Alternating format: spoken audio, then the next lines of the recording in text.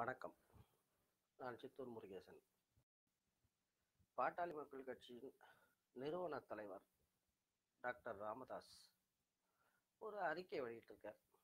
அதில் வந்து டாஸ்மாக் சரக்கை இனி டோர் டெலிவரி கொடுக்க போகிறாங்களாம் அதுக்காக ஒரு மொபைல் ஆப் கூட வரப்போகுதான் அப்படின்னு சொல்லியிருக்கார். அதை கேட்டதும் அப்படியே ஷாக் ஆயிட்டேன். ஏன்னா இந்த வடிவேலு காமெடியிலலாம் வரும் பாருங்க. பார்த்துட்டான் பார்த்துட்டான்னு. அதை போல நம்ம ஐடியாக்களை சுட்டுட்டான் சுட்டுட்டான்னு கத்தி கத்தி போர் அடிக்குது. அது சுடுறது ஏதோ நல்ல மேட்டரை சுட்டு நல்ல விதமாக இம்ப்ளிமெண்ட் பண்ணி நம்ம பேரை வந்து பிளாக் அவுட் பண்ணாலும் சந்தோஷம்.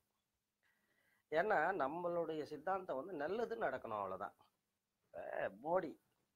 மோடி ஐயா பிரதமர் ஆனதும் நூறாவது நாள் வந்து இந்த ஃபேஸ்புக்கில் நாம் ஸ்டேட்டஸ் போடுறோம் இந்த நூறு நாளில் ஒரு பிரதமர் நினச்சிருந்தா என்னெல்லாம் செய்திருக்கலான்னு அதெல்லாம் அப்படியே கலெக்ட் பண்ணி இங்கிலீஷில் டப் பண்ணி பிஎம்ஓக்கு அனுப்பிச்சோம். அங்கேருந்து ஏதோ ஒரு ரெஸ்பான்ஸும் வந்தது. Received and kept on record ஒய்யால அந்த டிமானிடைசேஷன் அது அந்த பேரெல்லாம் நமக்கு தெரியாதப்ப நாம் கொடுத்துருந்த சஜஷன் வந்து கருப்பு பணத்தை ஒழிக்க தற்போது இருக்கும் கரன்சியை ரத்து செய்து புதிய கரன்சியை அறிமுகம் செய்ய வேண்டும். பழைய கரன்சி உடையவர்கள் அதனுடைய அக்கௌண்டபிலிட்டியை ப்ரூவ் பண்ணி பேங்க் மூலமாக புதிய கரன்சியை பெற்றுக்கொள்ள ஏற்பாடு செய்ய வேண்டும் அப்படின்னு சொல்லியிருந்தோம். அதை ஆட்டையை போட்டு நாட்டை ஒரு கதி ஆக்கிட்டாங்க. அது ஒரு பக்கம். இது இந்த திருப்பதி தேவஸ்தானம் எங்கள் ஆர்டிசி அதாவது அரசு போக்குவரத்து கழகம். இவங்கெல்லாம் அப்பப்போ சுட்டுக்கிட்டாங்க பலதும் வந்து பயங்கர மொக்க. இப்போ உதாரணமாக இந்த திருப்பதி தேவஸ்தானத்துக்கு நான் கொடுத்த ஐடியா என்னடான்னா இது பெருமாளெல்லாம் வந்து சூப்பர் ஸ்டாரு.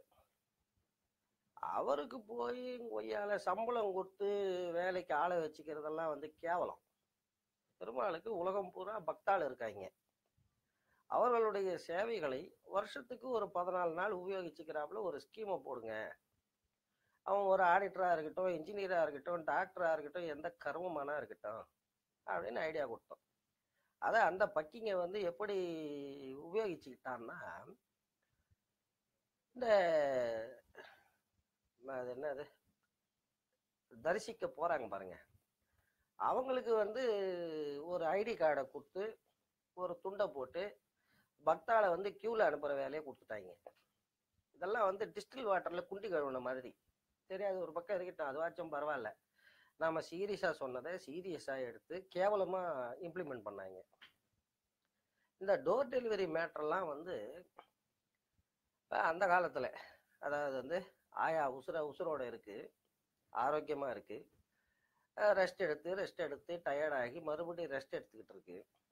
அப்பவே வந்து இந்த நிதி நிலைமை பற்றிய செய்திகள் எல்லாம் வரும். கடனில் மூழ்கப் போகிறதா தமிழக அரசு? இப்படி எல்லாம் கவர் ஸ்டோரிலாம் வரும். அதெல்லாம் பார்த்துட்டு நாம் வந்து இந்த மாநில கனவுகளை அனுப்பிச்சோம். அப்படி அனுப்பும் போதெல்லாம் இந்த ஆன்லைன் செல் இப்போ நாம் அனுப்புறது வந்து ரெஜிஸ்டர்டு போஸ்ட்டு அனுப்பிட்டு இந்த ஆன்லைன் சிஎம் செல்லுக்கு அப்டேட் பண்ணுவோம். இது மாதிரி அனுப்பியிருக்கேன் பாருங்க. அது எப்பவுமே வந்து உரிய அதிகாரிக்கு அனுப்பப்பட்டிருக்கிறதுன்னு வரும். அப்புறம் பார்த்தா அது டாஸ்மாக் எம்டியா இருப்பார். அவர் தான் பதில் கொடுப்பார். உங்களுடைய யோசனைகள் ஏற்கப்பட்டன. உரிய வகையில் பயன்படுத்தி கொள்ளப்படும். உங்கள் யோசனைகள் ஏற்கப்பட்டன. உரிய வகையில் பயன்படுத்தி கொள்ளப்படும். அப்போ நான் வந்து அதை நக்கல் அடிச்சு அதாவது தமிழகத்தை ஆள்வது முதல்வர் ஜெயலலிதா அவர்களா? இல்லை டாஸ்மாக் எம்டியா அப்படின்னு நக்கல் அடிச்சு சரி டாஸ்மாக் எம்டி தான் ஆக்டிவாக இருக்கிறாப்புல இருக்கு. அதனால இந்த டாஸ்மாக் சேல்ஸை அதிகரிக்கிறதுக்கு ஐடியா கொடுக்கலான்னு இருக்கேன்.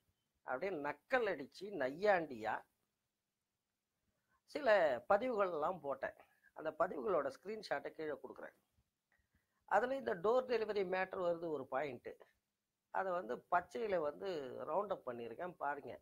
இதெல்லாம் எவ்வளோ கேவலம் தெரியுமா? அரசாங்கம் நடத்துங்கடான்னா சாராய கடை நடத்திக்கிட்டு சால்னா கடை நடத்திக்கிட்டு இட்லி கடை நடத்திக்கிட்டு ஒன்று சுய புத்தி இருக்கணும்.